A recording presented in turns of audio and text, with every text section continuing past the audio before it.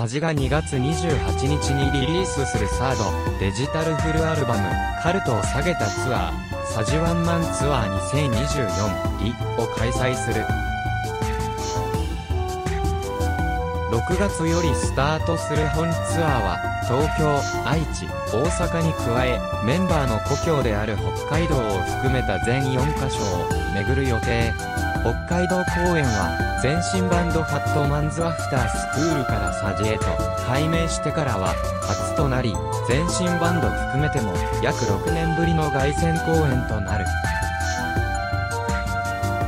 ツアータイトルの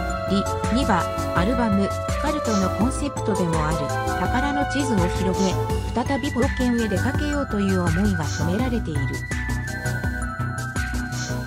公演ではアルバム収録の新曲も披露される予定だ。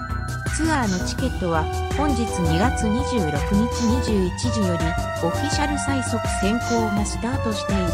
また、本日21時には反応性リベレーションメガボルトのティザー映像も公開された。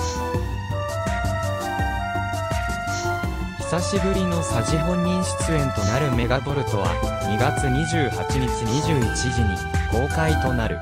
サジワンマンツアー2024リ6月13日木曜日愛知名古屋クラブはセット。オープン18時30分